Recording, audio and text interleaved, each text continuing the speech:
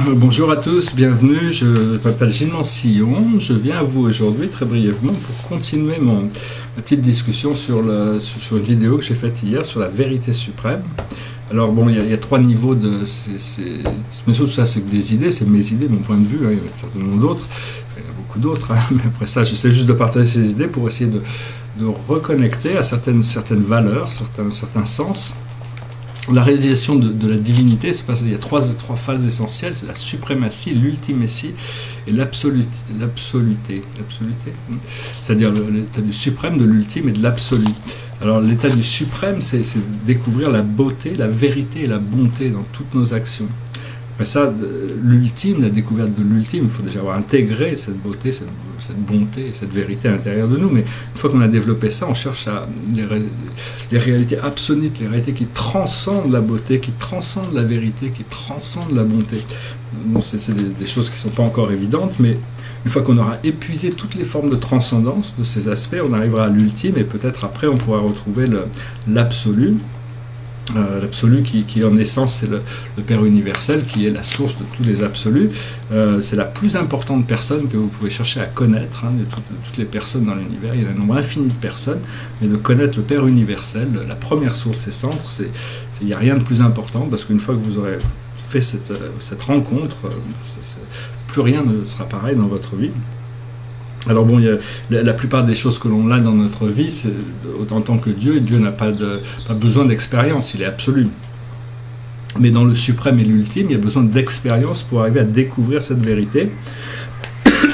Et pour ça, nous avons, euh, nous avons un esprit spirituel, une présence spirituelle qui s'appelle la présence je suis, le divin ajusteur, qui, est, avec nous et qui voyage avec nous dans notre esprit pour arriver à nous spiritualiser. Une fois qu'on a atteint suffisamment de, positivité, on peut à commencer à connecter, à communiquer, communier avec cet ajusteur.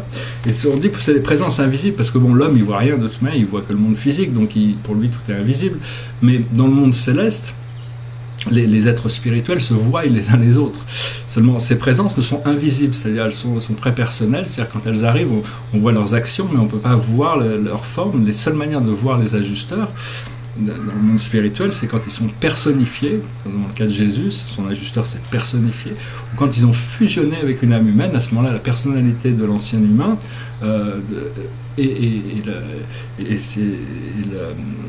la personnalité qui sert à l'ajusteur pour le reconnaître.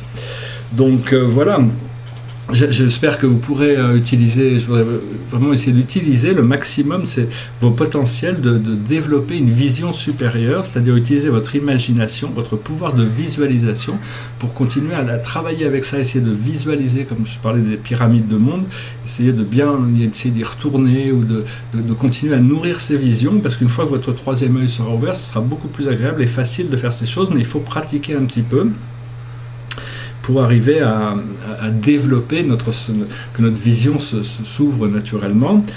Euh, c'est très possible aussi que notre famille d'âme, euh, moi ça fait longtemps que ça m'arrive, mais les, autres membres de notre famille d'âme commencent à venir plus, plus, plus puissamment dans votre vie, que ce soit dans votre vie de tous les jours, à travers des, coïncidences, des, synchronicités ou à travers les rêves.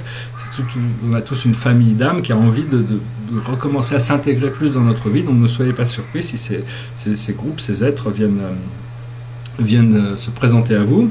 Euh, et puis bon, c'est pour le moment, là, je suis en train de finir le dernier cercle, de, le cercle à l'intérieur de la conscience humaine, et le dernier cercle, c'est le cercle de la maîtrise de soi. Donc ça, c'est pas toujours facile d'être complètement maître de soi, mais enfin, c'est un petit peu le but, c'est de progresser de, cercle en cercle jusqu'à ce qu'on est arrivé à, dépasser euh, le niveau euh, qu'on avait, qu'on avait prévu d'atteindre. Euh, donc voilà, enfin, pour découvrir cette vérité, il faut essayer d'avoir un, point, un, point de focal assez important, assez, assez euh, d'être assez, si on peut essayer de se concentrer, c'est apprendre à se concentrer sur les choses. Euh, j'ai recommencé à faire de l'hypnose, là c'est assez intéressant, je peux en poster de, de, séances d'hypnose, c'est un peu personnel, mais enfin c'est vraiment un très bon moyen pour arriver à avoir un, point focal hyper pointu, hyper précis. Puis bon, essentiellement, c'est découvrir des jardins intérieurs, des choses comme ça pour, pour arriver à développer sa vision, développer son, son, son pouvoir de, de, visualisation, pour arriver à nous ouvrir, à pouvoir être beaucoup plus présent dans les plans astro et au-dessus. Quoi. Voilà, j'espère que mon message aura été intéressant euh, pour vous. Euh, je, vous souhaite une excellente journée.